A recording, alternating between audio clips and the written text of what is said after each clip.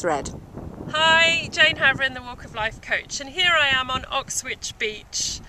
And we've walked from Pwlldu, which is a few miles that way.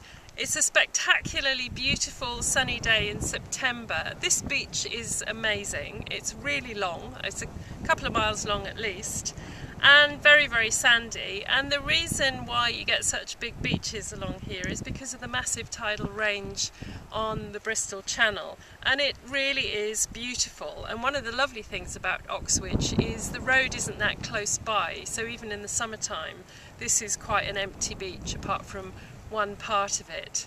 So if you do walk on the coast path in this area on the Gower do do your best to make sure that you come on a spectacular day because the views that we've walked past all day today have been wonderful and I wouldn't want you to miss that. Thank you very much.